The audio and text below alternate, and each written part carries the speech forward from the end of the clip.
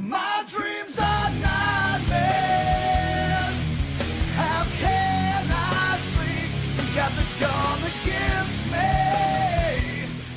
What's going on everybody? King of Dragons 5000 here, coming at you with another figure review.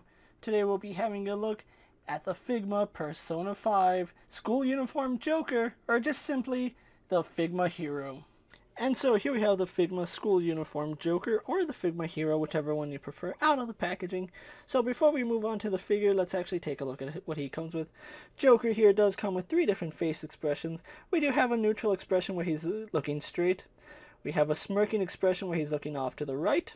And then we have a smirking expression where he's looking off to the left.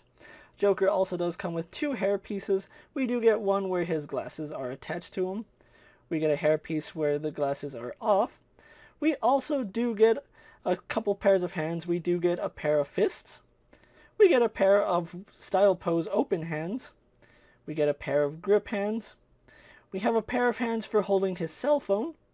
And then we have a right hand for holding the glasses, which speaking of which, he does come with a loose pair of glasses in case you want to have him holding it.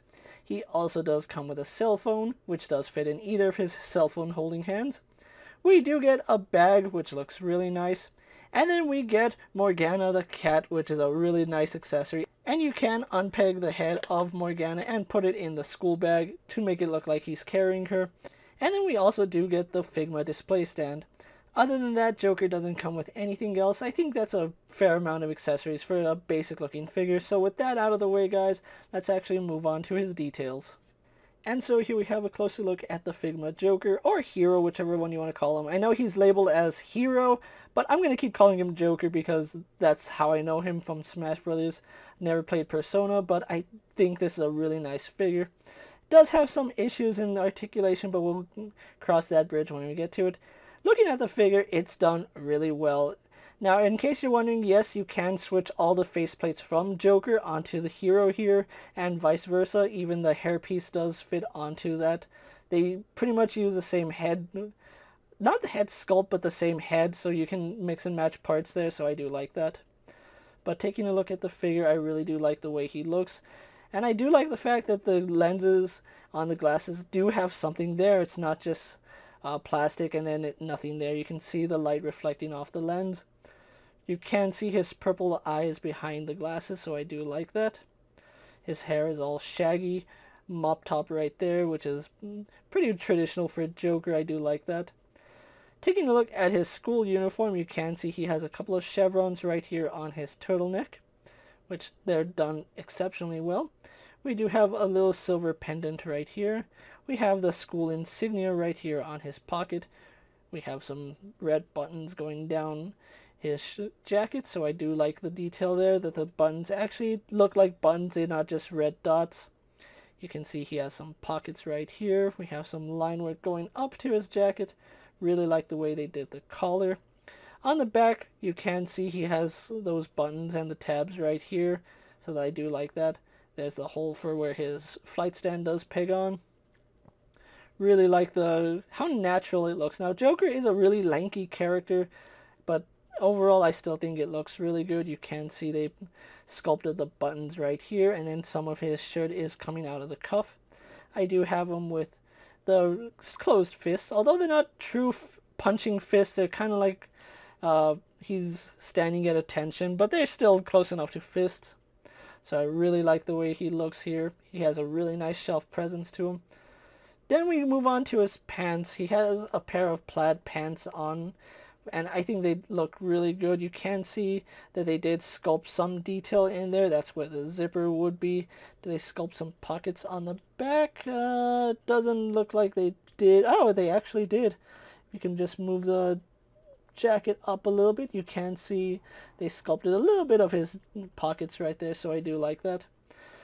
His pants don't have too much wrinkles on them. They have wrinkles right up here near the thighs, but they're pretty much tight going all the way around. Nothing wrong with tight pants, but I would like to see some wrinkle detail in his pants because it looks so strange that they're so skin tight and they seem more like leggings than they do uh, school uniform pants. But you can see his boots do look really nice. They have some you know, gray for the sole. Really like that paint. And then we do have some sculpted detail with the laces. So overall, really do like the way they sculpted Joker here. He has a really nice looking presence and despite looking all lanky, he's really, really nice. And I do like the way the figure came out.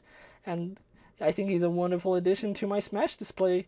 Uh, that's where I know him from and that's where he's going to continue to come from but I know he is from Persona, but that's neither here nor there. We're talking about the figure.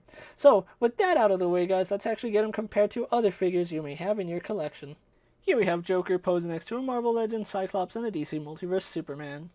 Here we have school uniform Joker posed next to a WWE Elite Scale figure and a Mezco 112th Collective Popeye the Sailor Man.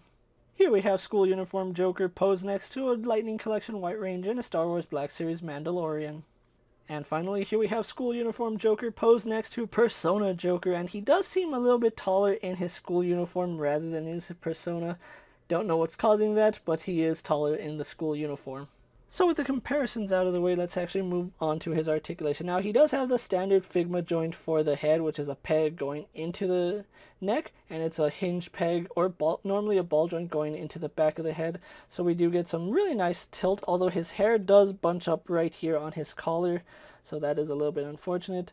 And because the way his hair does bunch up in the back, you don't get too much backwards movement, but you get a pretty decent forward movement. If you do pop his head up a little bit, that does improve articulation, but then he has a really long neck and that really doesn't look good. So do be aware of that. Does turn left and right, no problem. Arms, they are on ball joints, so it's a ball socket going into the torso, so it does pivot back and forward, can drop down, can shift up, so good range there. Does do a full 360, no problem there. Goes out to about that far, so we get pretty decent range there. He doesn't have a traditional bicep swivel, but we have a swivel up here in the shoulder.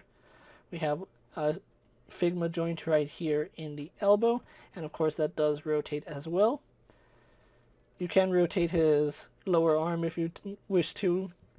He does have a ball hinge right here in the wrist, so it does move in and out. Or you can rotate that to have an up and down hinge, so I do like that. And of course it rotates on that peg. Now, this is where his articulation is a little bit hindered. He should have a ball joint right here in the torso. Now, because this is a single piece of plastic, it is rubbery, but it's not soft enough to grant him full range. So he really doesn't have any articulation in the chest. And even though it should swivel and bend, unfortunately, we don't get that. Most of your articulation is going to be done at the waist. So that's on a ball joint, so that moves side to side, swivels left and right, crunches forward only to about there, goes back only to about there, and that's because of how thick this piece is. That jacket does hinder articulation a lot, especially in the hips. His hips do go out to about there. They go forward to about there, which is pretty good, seeing as how you can see it starting to bunch up against the jacket right there. Goes back about that far. We do have a thigh swivel. Figma joint in the knee, so it goes a little past 90, so I do like that. We do have a hinge in the ankle, which goes back and forward. Goes back more than it goes forward because you can see the boot starting to bunch up against the pant leg right there. Forward facing pin for rocker. We get rotation. And then we also do have a toe hinge on this version of Joker. So overall, really do like the way this figure came out. So what we're going to do now is get him posed for my final thoughts, and then we'll wrap up this review. And so here we have the Figma Hero or School Uniform Joker posed for my final thoughts. Overall, I really like the way this figure came out, and I mainly got this figure to go into my Smash, Smash display, excuse me. But overall, I think it's still a really well done figure. I love the accessories it came with, especially the cat and the bag. I think that's probably my favorite thing. If I do have one little issue, it's with the articulation on this figure. Now, I do have to stress that you be that you have to be very careful with the glasses, putting them into his glasses holding hand, just because they are really thin and that's a really tight fit, so you might end up putting too much pressure and accidentally breaking it. My advice to you is to heat the hand up before putting the glasses in. I haven't had an issue yet, but that is something to note that you might end up putting too much pressure on the glasses and breaking them. Other than that, I still think uh, Figma Hero or School Uniform Joker is a nice addition to my collection. Now, if you are looking for this figure, you will have to get them off secondary market. I was lucky enough to be looking online and stumble upon the Good Smiley website for the US releases, and Joker was available for pre-order, so I just pre-ordered him not knowing that this was a Wonder uh, Wonder Festival is was that right? Wonder Festival exclusive figure. I had no idea until I got it and there's a sticker on the box saying Wonder Festival exclusive and I'm like, oh, I had no idea about that. And I don't know the secondhand market for this Joker. Just be aware that if you do go on eBay and see it for $20, more than likely it's a fake. So if you're looking for the authentic thing, you might have to look a little harder. And he might be a little tricky to come by seeing as how he was an exclusive figure if you can get your hands on this figure, I think he's a really wonderful uh, piece to own for your Persona collection, for your Smash collection, or if you just want a really nice school uniform body, this is a really good figure. With that being said, guys, I'm King of Dragons 5000. Don't forget to like this video, leave a comment, subscribe to my channel, go check out all my other action figure reviews, as well as all my other Figma videos. Hopefully you find them informative. As always, if there's a figure you would like to see me review, let me know down in the comments, and if it fits in my collection, I'll definitely have a look at it.